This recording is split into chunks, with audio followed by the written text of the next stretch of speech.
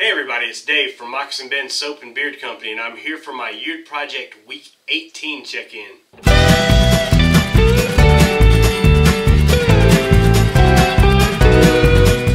You're never going to have a perfect mustache or a perfect beard. There's always going to be some kind of issue that bothers you. Even the guy that you see out on the street looks like he's got an awesome beard or the guy in your beard group that posts this perfect photograph those guys struggle every day with some issue about their beard that they don't like. There's always something that that they see as a problem that they struggle with. For me, a lot of times it's this sides here they want to stick out, especially in the yeard. Because we're doing the yeard, I'm not trimming that. Normally I would trim that down so that I get that kind of smooth, boxy look on the sides there. But I can't do that since I'm doing the yeard, we're not trimming. So I've got to let that grow. So that's something that bothers me sometimes with my beard. There's hairs that sometimes they, they go fine with the wax, sometimes they don't. And it's just like your hair.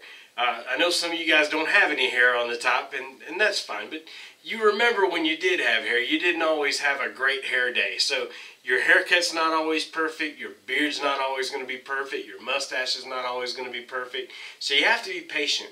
One of the things that I discovered, and a lot of you guys probably have this problem as well, my beard right here on the bottom lip, right across here, grows a lot slower than all the rest of this. So what happens is it grows and it wants to curl up. I've been using a little bit of wax on it here and there. And so I, I don't use a lot. I'm not using the resin. The resin's a little bit much for this, but I use a little bit of the wax. I heat it up in the, and the one I use is a lip balm tube. So I heat it up with the hair dryer and I just bring it straight down on the on that bit and then I smooth it in. Just push down and smooth it in like that and it seems to keep the, that part of my beard from curling up, which also goes into my mouth. And I usually end up trimming that and keeping it probably about a half inch, maybe three quarter inch, an inch at the most.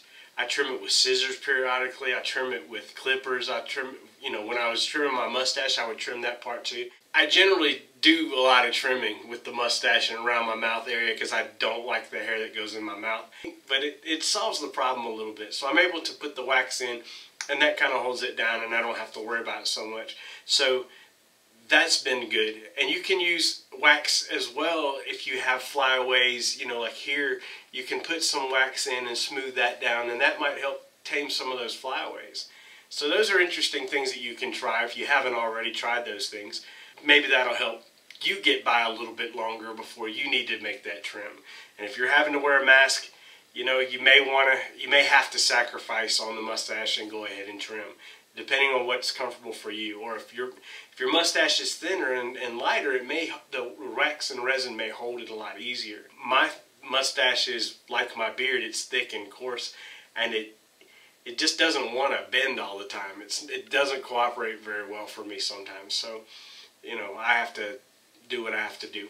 Let's go ahead and take a look at my beard at 18 weeks, 126 days of growth.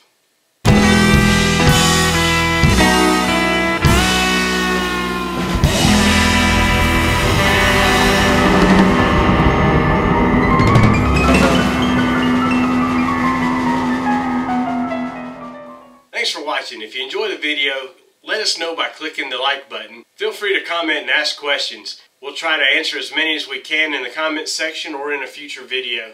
Click the subscribe button to get notified when we post new videos. Like and follow us on Facebook and come see us for all your bath, body, and beard care needs.